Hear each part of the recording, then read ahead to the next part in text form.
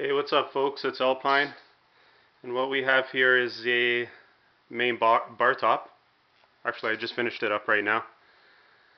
Um, the specs are uh, 2.8 P4, 80 gig hard drive, um, 15 inch LCD monitor. Give you a shot of the control panel there.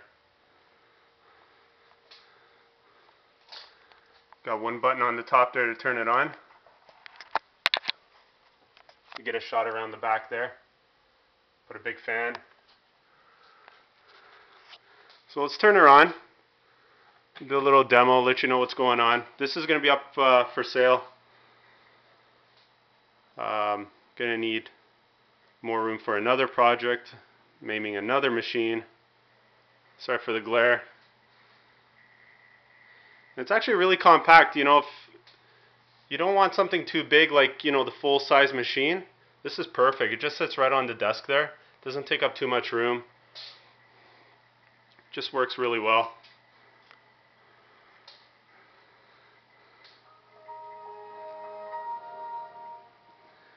The little atomic intro there.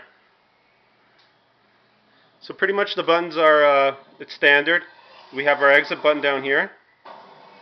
That's the player one start and player one coin. It's only a one player machine obviously, but if you want you can always hook up a joystick and play two players if need be. And here's the intro, or sorry, the uh, front end. And these are just the games for uh, display purposes. It has all the snaps, everything you need. The front end's all configured. All you need to do is just drop in your ROMs and you're good to go. Once again, sorry for the glare. Uh, let's start up a game here.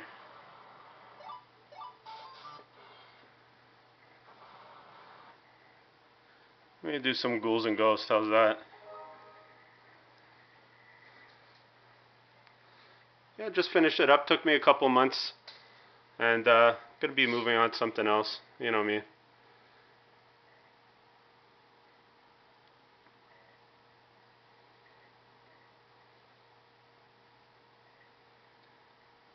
Just waiting for ghouls, ghouls and ghosts to load up.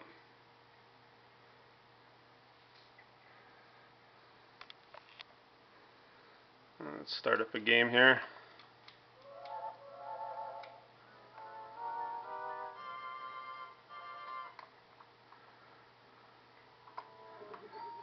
It's gonna be brutal trying to play one hand on the camera and the other one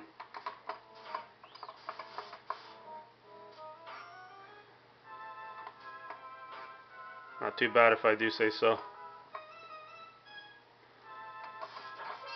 Oops.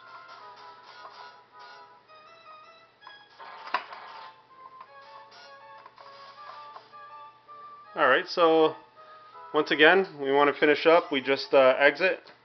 Takes us to our main screen here. We'll do another demo. Let's do Sengoku however it's pronounced. now, I don't know if I mentioned it, but it's got a 15 inch LCD.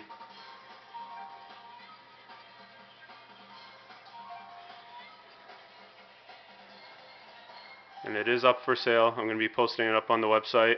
Uh, if you're interested, you can contact me. Let's do up another little demo here.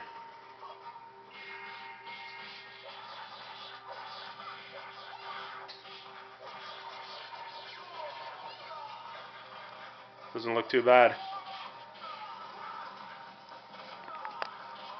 Alright, so we're going to exit.